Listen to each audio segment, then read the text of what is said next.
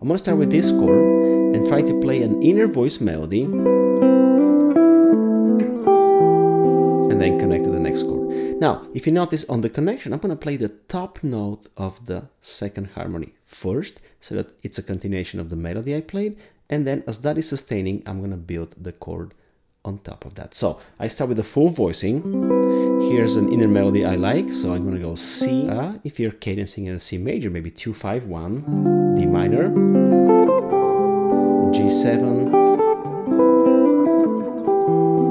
and kind of playing something of that similar fashion, which is more of a movable, if you will, counterpuncto type texture, sustaining a note, the left hand arpeggiating under.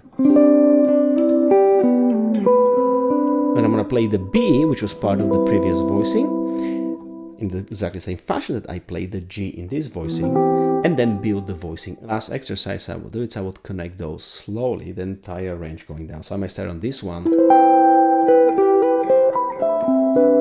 and then play the other one,